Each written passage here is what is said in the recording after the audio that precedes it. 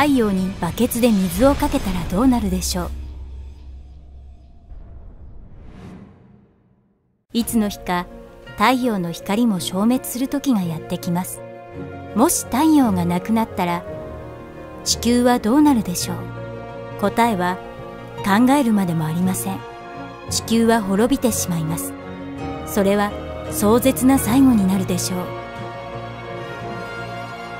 あなたはその時を見たいですか？残念ながらその時まで私たちが生きていることはありえないのでそれは無理でしょう。なぜ誰も死ぬ前に太陽の光を消そうとしないのでしょうか？もし巨大なバケツで太陽にたっぷり水をかけたらどうなるでしょう？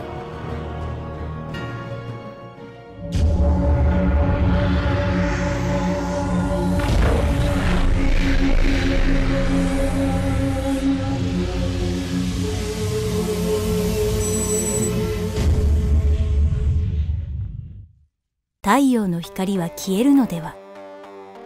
太陽が私たちに毎日送っている光をひとまとめにするとおよそ170兆キロワットの電力が降り注いでいることになります。想像を絶するほどの大量のエネルギーです。人類がありとあらゆる形で利用しているエネルギーの1万倍です。しかし太陽が宇宙に放出しているエネルギーと比べると微々たる量です。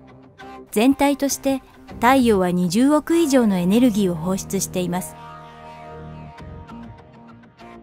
相対性理論によるとあらゆるエネルギーの消費に伴い質量も減少します。例えるなら太陽はメタボな人がトレッドミルで走ることで刻々と減量していくようなものです。およそ40億トンも。簡単に言うと太陽は燃えることによって消えてゆくのです。より正確には水素の核融合によってエネルギーを生産しているのです。もし太陽が地球の質量であったなら5万年もの間燃え続けることになります。しかしこれがもし実際は太陽の質量は全太陽系の質量の99.86%です。これは毎秒水素約7000億トンを燃やしながら太陽が100億年燃え続けることができるほど大量なものです。人類が調査している月の地質と隕石の鉱物の年齢に従えば100億年のほぼ半分が過ぎたことになります。私たちの子孫はこの恐ろしい大変動をどのように回避するのでしょう。その答えを見つけ出すまでに今のところ50億年以上の猶予があります。その時何が起きるのでしょう？言い換えると核融合炉の炉心に燃料すなわち水素が尽きた時に何が起こるのでしょうか？太陽は自らの質量を減らしながら宇宙にエネルギーを放出して戻ることのない大量のエネルギーを生産しています。すべてのものには終わりがあります。そしていつか水素という種類の燃料も尽きて太陽の光は消えてしまいます。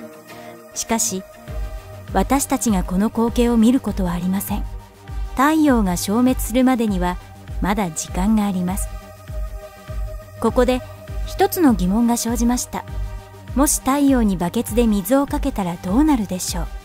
先ほど言ったように消えてしまうのでしょうか。第一このようなサイズのバケツを見つけるのは容易ではありません。しかしもし仮に私たちにバケツがあり水がありこれらすべてを太陽系の中心に運べるとしたらどうなるでしょう？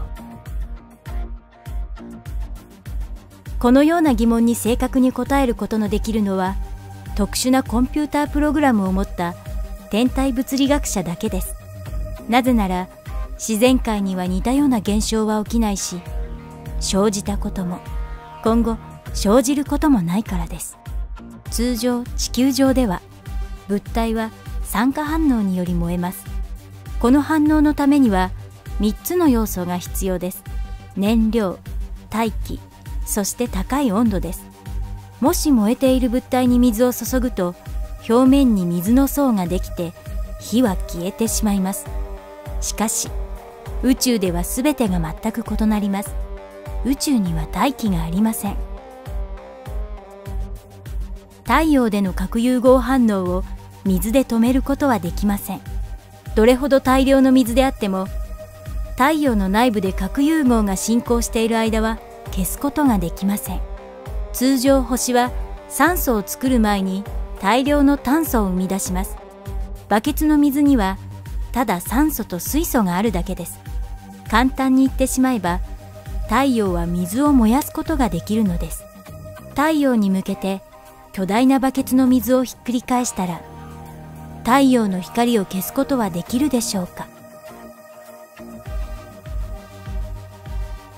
いいえ太陽は別の型の核融合を利用しながらさらに燃え続けます。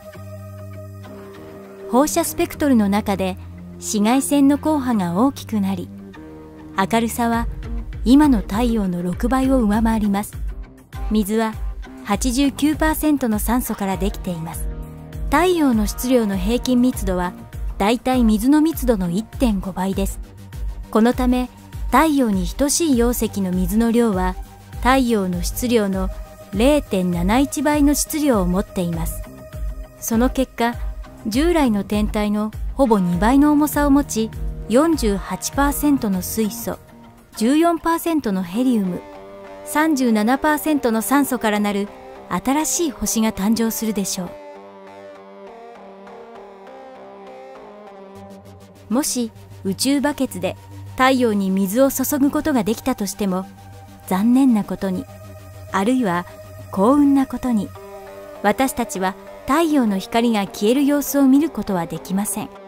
おそらく太陽の2倍の大きさの新しい星の誕生が観測できますがそれはまたのお楽しみ。どう思います？もし動画が気に入ったならいいねを押してくださいね。